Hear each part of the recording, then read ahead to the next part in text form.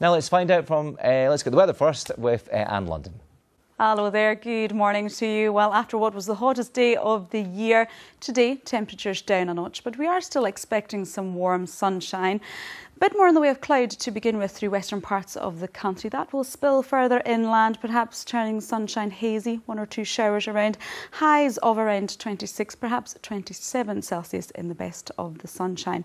This evening and overnight, showers pushing into the east, merging to give more prolonged spells of rain. Fairly cloudy across the board, clearer skies up through Shetland, and temperatures on the mild side once again. Then towards the weekend, it's looking fairly unsettled. We have this rain stretching from the Western Isles down towards the southeast. Heavy pulses within that.